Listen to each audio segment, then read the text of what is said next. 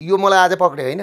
मेरो टेस्ट गरेँ। अब रवि लामी छानेलाई पक्रा हुँदैछ रवि लामिछानेलाई अँ, पक कन्फर्म! पक्रिँदैछन्।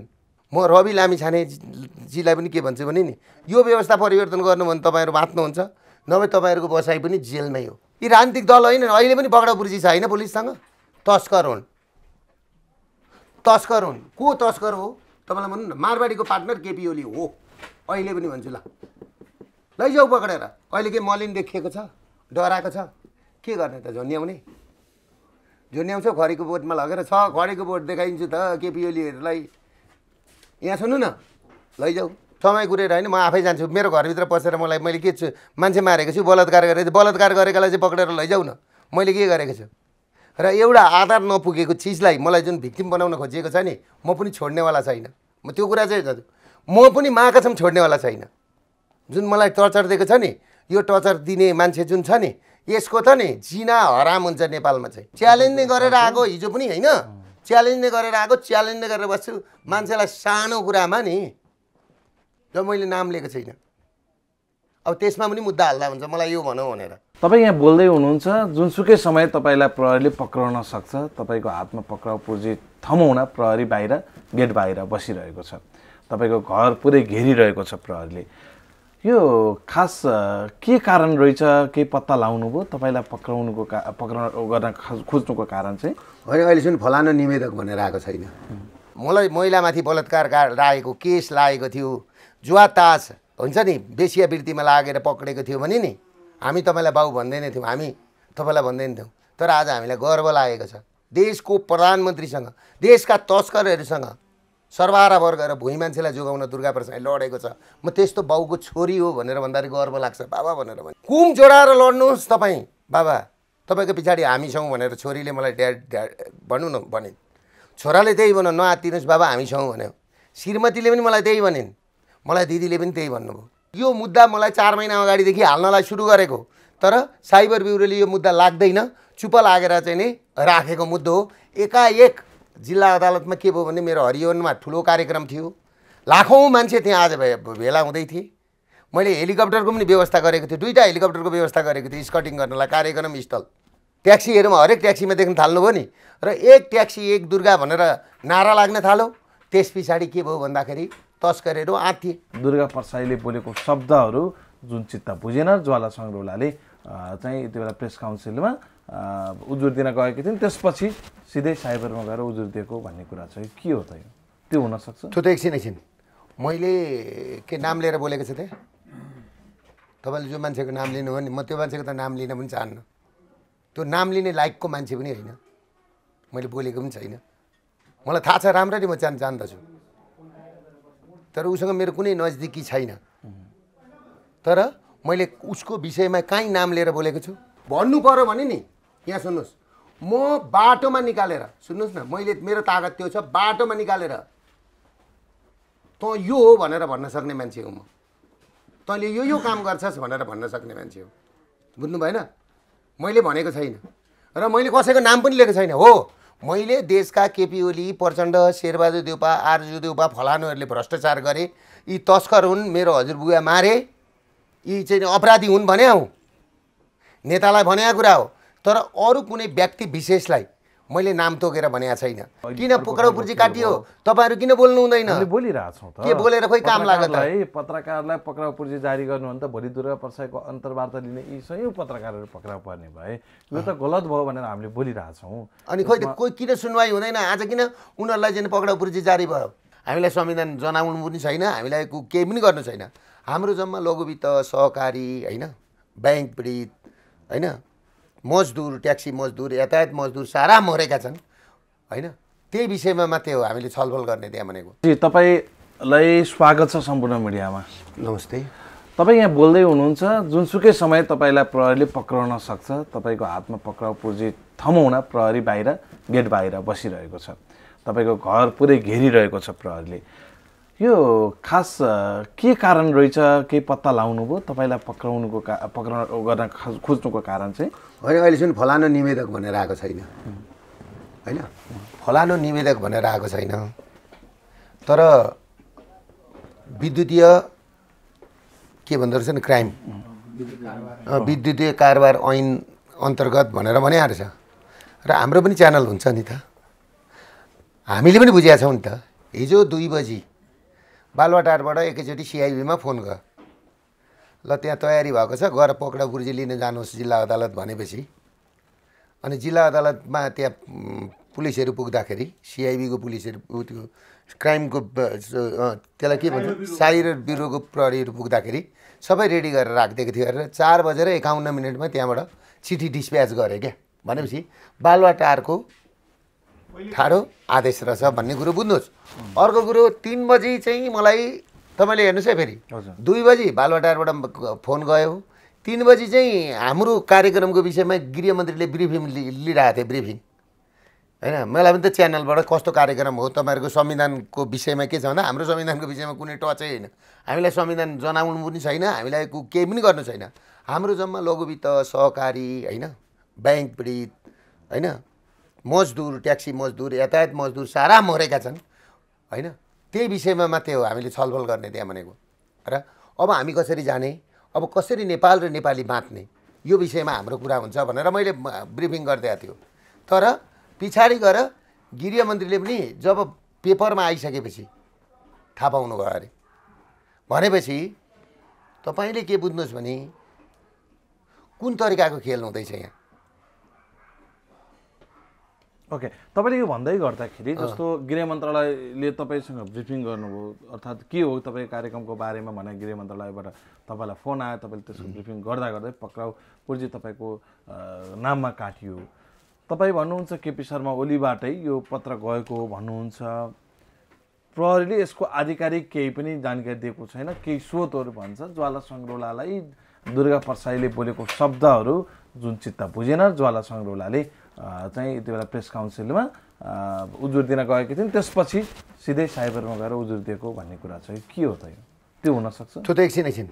मैले के नाम लिएर बोलेको छु त्यहाँ तपाईँले जो मान्छेको नाम लिनुभयो नि म त्यो मान्छेको त नाम लिन पनि चाहन्न। त्यो नाम लिने लायकको मान्छे पनि होइन। मैले बोलेको पनि छैन। मलाई थाहा छ राम्ररी म जान जान्दछु। तर उसँग मेरो कुनै नजदिकी छैन।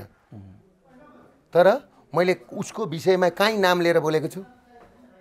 बोलेको छैन नि। साइबर क्राइम कतिखेर लाग्छ भन्दा कसैको नाम लिएर। चरित्र हत्या गर्यो भने लाग्छ। नाम नलिकन होइन मैले कसलाई भने भने नि। सिम्बोलिक रूपमा मैले भने होइन। तर त्यो भन्दैमा अनि मलाई नै भनौँ भनेर जो मान्छेले कागले कागको नाम काट्छ भने जस्तो होइन।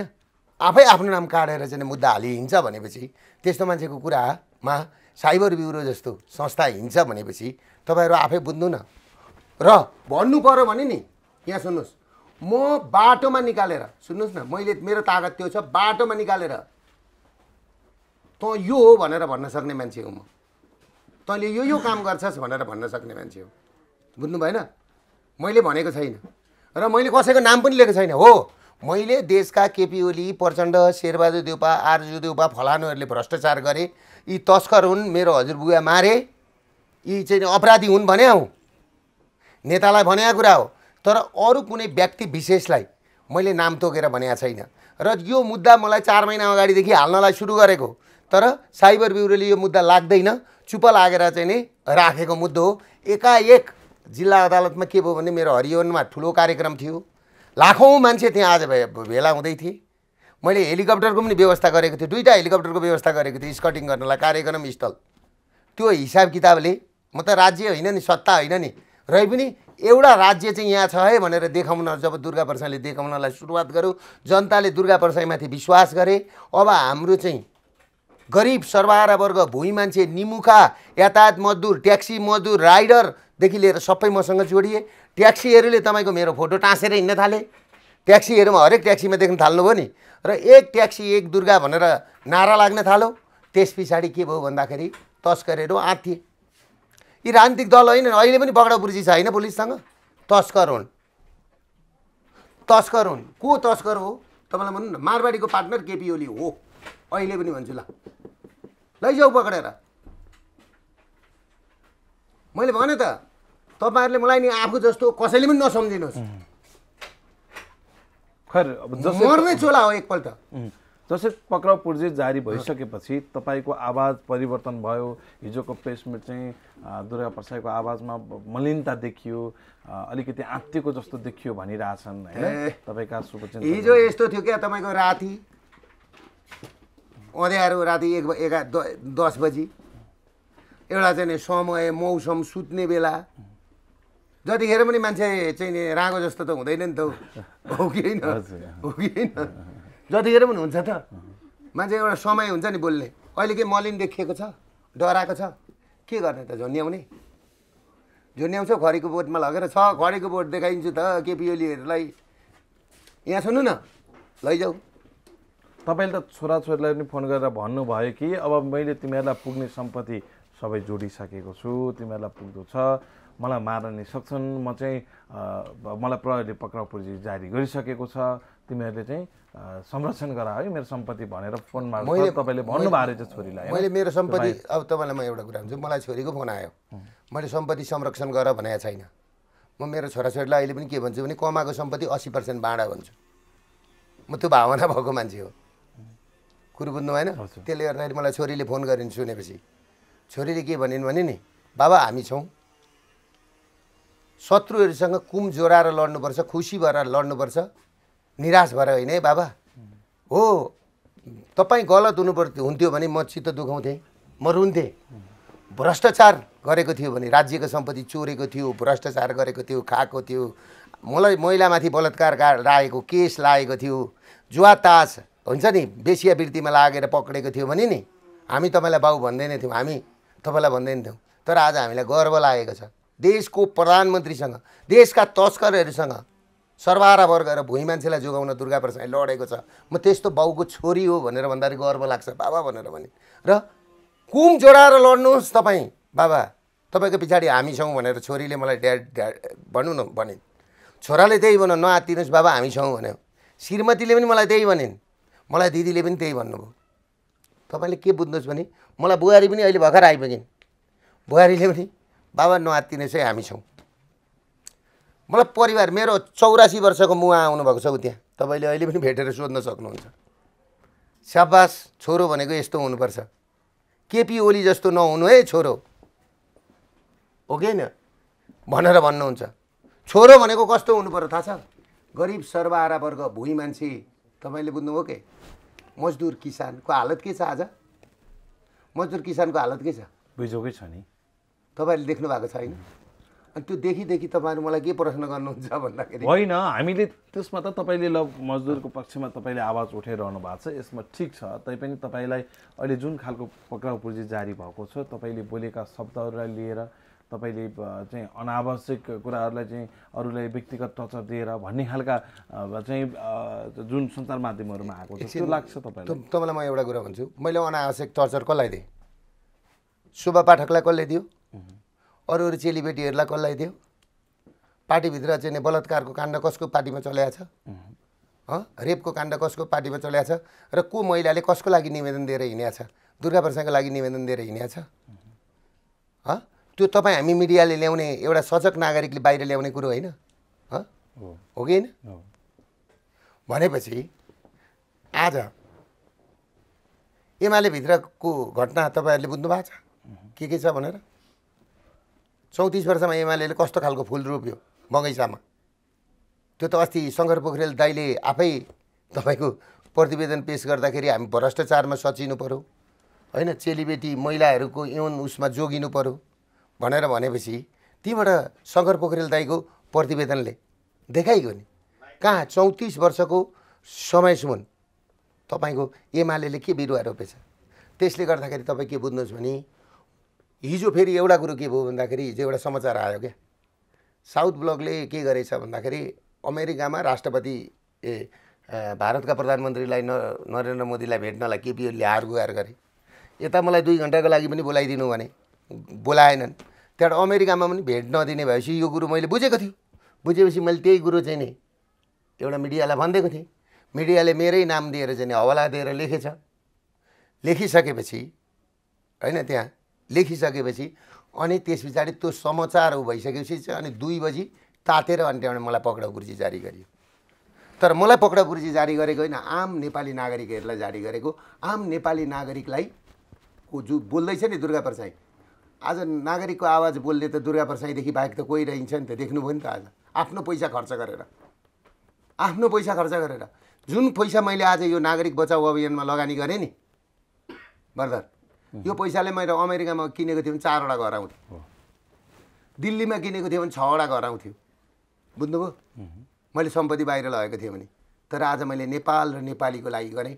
नेपाल र नेपालीलाई बलियो बनाउँ। नेपाल बलियो बनाउनुपर्छ भने नेपालीहरूका खुट्टा नेपालीहरूका पाखुरा बलियो हुनुपर्छ भन्ने मान्छे हो। खोइ त तपाईँहरूले मलाई साथ दिएको? तपाईँ खोइ तपाईँ किन तपाईँहरू साथ दिनु यस्तो छ तपाईँले अ, म तपाईँ तपाईँलाई अझै एउटा कुरा भन्छु सरगमजी तपाईँ एउटा कुरा बुझ्नु न। जतिखेर मेरो मिडियामा जति ज ज ज- जसले तपाईँको चाहिँ नि समाचारहरू छापे युट्युबमा सायद अहिले तपाईँले मेरो यो हाल्नु भने तपाईँलाई पनि चिठी आउन बेर लाउँदैन। त्यो एउटा छ नि के अरे तपाईँहरूको? अँ, बालकृष्ण बल प्रेस काउन्सिलबाट चिठी आउन हुने अडतिसजनासम्मलाई दिनको चिठी काटेको छ प्रेस काउन्सिलले। प्रेस काउन्सिल भनेको के हो तपाईँले बुझ्नु भएको छ? पत्रकारिता पत्रकारहरूको हक र हितको लागि गर्नुपर्ने पत्रकारहरूलाई सत्य समाचार बाहिर ल्याउँदाखेरि। दमन। होइन के नियमन गर त? नियमन के गर त? तपाईँले अहिले लाइभ देखाइराख्नु भएको छ नि मैले बोलेको कुरा। होइन? त्यो गर्दाखेरि तपाईँलाई पक्रापुर्जी जारी गर्ने। र प्रकाश दाहाल र जीवन पाण्डेलाई। भिक्टिम बनाएको त्यही हो नि। अरू कुरा केही होइन दुर्गा प्रसादसँग हिँड्यो। दुर्गा प्रसादको धेर त्यही के भन्यो? समाचार युट्युबमा ल्यायो भनेर प्रकाश दाहाल र जीवन पाण्डेलाई गरे हो नि। तर अब प्रकाश दाहाल र जीवन पाण्डे पनि यो देशको नि नेतै हुन्छन्। यो नसोच्नुहोस्। किनभने एकपल्ट राजनीतिकमा डामिएपछि नि यता हेर्नु न त्यो नेतै हुन्छ। त्यो कुरा के भन्छ भनेदेखि अब प्रकाश दाहाल र जीवन पाण्डेको पनि युट्रन सुरु हुन्छ। के गर्छ त हामीलाई लगेर थुनेर? प्रष्ट रूपमा पत्रकारलाई पक्राउ गर्ने अधिकार छैन। छ त। पनि किन पक्राउ पुर्जी काटियो। तपाईँहरू किन बोल्नु हुँदैन? बोलिरहेछौँ के बोलेर खोइ काम लाग्यो त? पत्रकारलाई पत्रकारलाई पक्राउ पूर्जी जारी गर्नु भने त भोलि दुर्गा प्रसादको अन्तर्वार्ता लिने यी सयौँ पत्रकारहरू पक्राउ पर्ने भए यो त गलत भयो भनेर हामीले बोलिरहेछौँ। अनि खोइ कोही किन सुनवाई हुँदैन? आज किन उनीहरूलाई चाहिँ पक्राउ पुर्जी जारी भयो? तपाईँहरूले तपाईँलाई हेर्नुहोस् प्रकाश दाललाई खाने बाघले नि कमल सरगमलाई खाँदैन भन्न सकिँदैन। खान्छ है। बाघ त एउटै हो। त्यसले गर्दाखेरि तपाईँहरू के बुझ्नुहोस् भने तपाईँ हामी यो देश बचाउने हो भने एकजुट भएर लागौँ। होइन? अब हेर्नुहोस् यो मलाई आज पक्रियो होइन? मेरो टेस्ट गरेँ। अब रवि लामी छानेलाई पक्राउ हुँदैछ। रवि लामिछानेलाई अँ, पक कन्फर्म पक्रिँदैछन्। जो मान्छे यहाँ नयाँ आउँछ नि होला रवि लामिछानेजीका एक दुईवटा कमी कमजोरी भयो होलान्। मैले पनि भने। तर हिजो कमी कमजोरी गरे मान्छेले सधैँभरि कमी कमजोरी गर्छ भन्ने छैन नि त। जस्तो रत्नाकर भन्ने मान्छे बाटोमा बसेर लुट्थ्यो के लेखेँ लेखेँ भन्थ्यो रामायण लेखेर वाल्मिकी भयो। ऊ म भन्छु भनेर त भन्न त पाउँछ नि म गर्छु भन्न त पाइन्छ नि त। तर ऊ अघि बढ्यो भनेर उहाँ अघि बढ्नुभयो भनेर रवि लामी छानेलाई पनि अब थुन्दैछन्। म्याक्सिमम् तिन हप्ता। त्यो हिजो त्यही भएर सरकारमा त्यो खालको अनुसन्धानको कार्यसूची अगाडि बढेको अघि बढिसक्यो। किन भन्नु न? यो देश एमाले र काङ्ग्रेसले मात्रै हाक्नुपर्छ अरूले हुँदैन भन्ने छ क्या। अरू आउनु हुँदैन। अरू आयो भने त यिनीहरूलाई खोरमा हालिहाल्छ नि जम्मै भ्रष्ट गरेको छ। कुरा भन्नु होइन अरू आयो भने त रवि लामिछानेजीको त्यही सहकारीको काण्ड न हो। अरू भ्रष्ट गरेको काण्ड त छैन नि त। त्यो पनि एक हिसाबले भनिसक्यो होइन होइन त्यसमा तपाईँले उहाँले होइन भन्नु उहाँले क्लिन चिट पाएन उहाँले पनि अलिक छिटो बोल्नुभयो। होइन एउटा कुरो के छ भने नि घरमा बुढा र बुढी छन्। बुढाले चोरेर ल्यायो अनि बुढीले पकाएर चाहिँ छोराछोरीलाई खुवाइन् कि? कुरा बुझ्नु भएन? अनि बुढीले चाहिँ म होइन चोरेर त ल्याएको हो नि त एउटाले चोरेर ल्यायो एउटाले पकाएर खुवायो क्या? यो ठुलो कुरो होइन। तर रवि लामी छानेजीलाई म सुझाव दिन्छु अलिकति उहाँको हुन त बिचरा अब त्यो ऊ पनि होला। रवि लामी छानेजीलाई दुई तिनवटा कुरामा जस्तो केटी काण्डकोमा छ नि आयो नि कुरा। त मेरो बाउको सातवटी बिहा भएको थियो क्या? मेरो घर बिग्रियो एउटीबाट दुईटीबाट घर बिग्रियो कर्मै त्यस्तो रहेछ मैले अर्की ल्याएँ त्यो ठुलो कुरो होइन भनेको बा सकिएको थियो। सहकारीको केसमा पनि मैले ऋण लिएको हो बाबा म तिर्छु। यो ठगी केसमा जीवी राई म भएर ल्यायौँ दुईजना भएर गरेकै हो। अब मैले के सजाय भोग्नुपर्ने मैले तिर्नुपर्ने म तिरिहाल्छु नि भनेको भए सकिएको थियो क्या। सुरुदेखि नै जान्दिनँ जान्दिनँ भनेर बिग्रिया हो नि त। बिग्रिँदै बिग्रिँदै अब अहिले त्यो चाहिँ भुवाङ कस्तो भयो भनेदेखि नि टालिँदै टालिँदै टालिँदै टालिँदै गयो। अब तपाईँलाई म भन्छु तपाईँहरूले सपोजको लागि तपाईँले कहीँबाट पैसा लिएर आउनुभयो तपाईँ श्रीमान श्रीमती हुनुभयो। हो। चोरेको चामल लिएर आउनुभयो तपाईँको श्रीमतीलाई पकाउन दिनुभयो। अब त्यसमा के भन्नुहुन्छ तपाईँ? त्यो त दोष भइहाल्यो हो त्यही हो। अब त्यसैमा लगेर थुन्छन्। किन स्वीकारेको छ नि त? स्वीकारेको। अझ उहाँकै पार्टीका शिशिर खनालजीले त साइनै गर्नुभएको छ खैर जे भइरहेछ यो अवस्था तर खैर जे सिकेस् म के भन्न चाहन्छु भने अब रवि नयाँ आउनेलाई पनि थुन्छन्। अहिले बालनमाथि खनिरहेछन् नि। नयाँ त एक यहाँदेखि नै हुँदैन। मलाई मेरो मलाई चाहिँ कस्तो भने केही नभेटेर यो भेटाएको यो एउटा त्यो लगाएको नि। यिनीहरूले अख्तियार हाले। सम्पत्ति शुद्धिकरण खोजे। दाइ मेरो कति सुधा हेऱ्यो भने नि दाइ हो। ट्याक्स म सालको पचास करोड रुपियाँ बुझाउने आठ करोड रुपियाँ बाँकी रहेछ मेरो तिर्नलाई। तिर्दैछ फेरि महिनाको एक एक करोड गरेर तिरिरहेछौँ त्यस्तै हो कलेज दिएन। भिक्टिम भयो नि त म त होइन? र पनि मैले तिरिरहेको छु। मेरो त्यो सुधालाई चिठी पठाएको रहेछ। भनेपछि त्यो सुधालाई चिठी पठाएको रहेछ भने कति दुःख थियो। दुःख दिने भनेको मेरो नातिलाई भेटायो भने नि यिनीहरूले झुन्याउँछ भनेपछि तपाईँले के बुझ्नुहोस् भने नि यो व्यवस्था परिवर्तन नगरिकन म रवि लामिछानेजीलाई पनि के भन्छु भने नि यो व्यवस्था परिवर्तन गर्नु भने तपाईँहरू बाँच्नुहुन्छ नभए तपाईँहरूको बसाइ पनि जेलमै हो। अब तपाईँ तपाईँलाई के लाग्छ? जस्तो यो प्रकरणले तपाईँलाई लामो समय चाहिँ प्रहरी थुनामै राख्छ जस्तो लाग्छ कि होइन? म मैले केही गरेकै छैन। होइन मलाई धेरै भए यस्तो छ। म अब आफै जान्छु। सुन्नुहोस् न कुरो। आफै जान्छु। एउटा जिल्ला अदालतबाट नै लिएको हो। होइन? म भोलि कोर्ट जाँदैछु। होइन? उच्च अदालत जाँदैछु। अदालतले न्याय दिएला नि त। ए भनेको प्रहरीले अहिले पक्राउने तपाईँले लिएर जाने त्यस्तो केही सङ्केत देखिएको छैन? बाहिर घर बाहिर चाहिँ प्रहरी खुल्लम खुल्ला बसिरहेको छ तपाईँसँग होइन यस्तो छ नि। कि समय कुरेर बसेको हो कि माथिबाट? होइन समय कुरेर होइन म आफै जान्छु। मेरो घरभित्र पसेर मलाई मैले के छु मान्छे मारेको छु बलात्कार गरेको बलात्कार गरेकोलाई चाहिँ पक्रेर लैजाऊ न। मैले के गरेको छु? र एउटा आधार नपुगेको चिजलाई मलाई जुन भिक्टिम बनाउन खोजिएको छ नि म पनि छोड्नेवाला छैन। म त्यो कुरा चाहिँ म पनि महाकसम छोड्नेवाला छैन। जुन मलाई टर्चर दिएको छ नि यो टर्चर दिने मान्छे जुन छ नि यसको त नि जिना हराम हुन्छ नेपालमा चाहिँ। जसले दिन गरेको छ नि मलाई।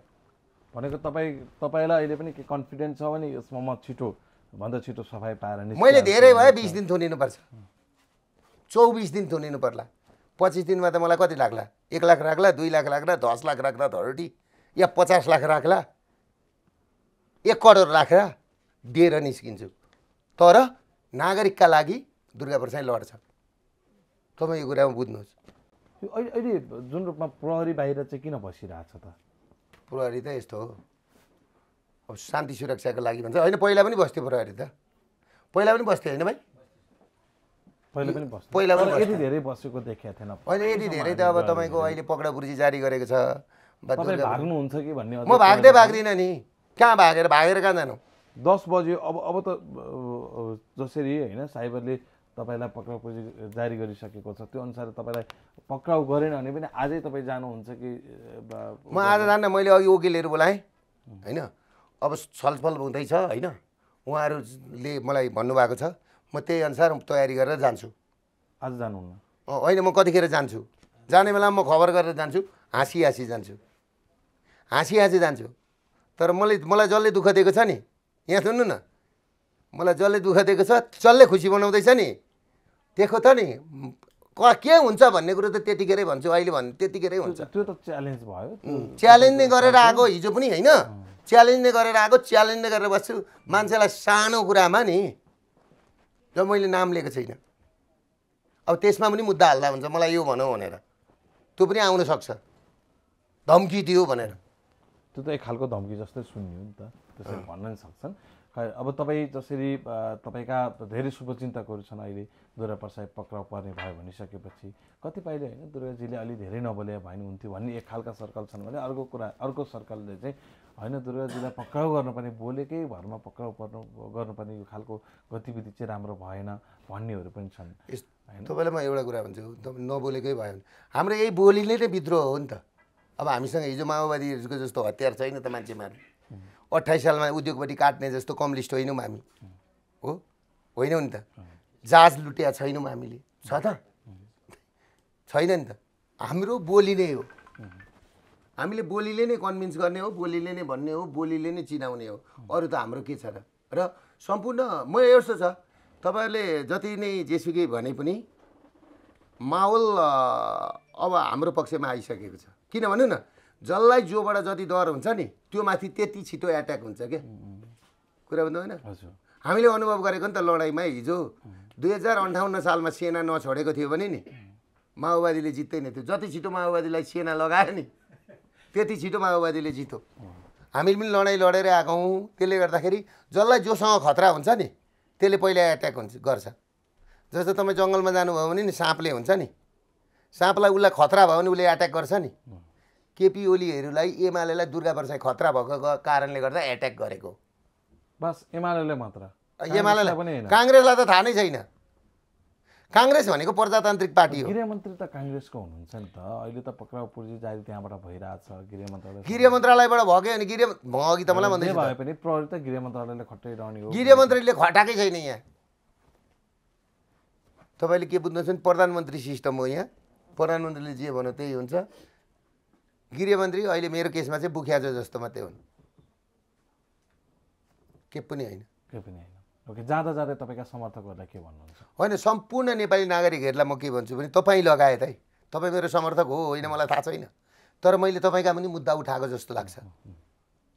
किनभने यो व्यवस्था परिवर्तन गरेर यो तस्करको हातबाट हामीले देश जोगाउन सकेनौँ भने तपाईँ हामी सबैको खाडीमा बास हुन्छ। होइन?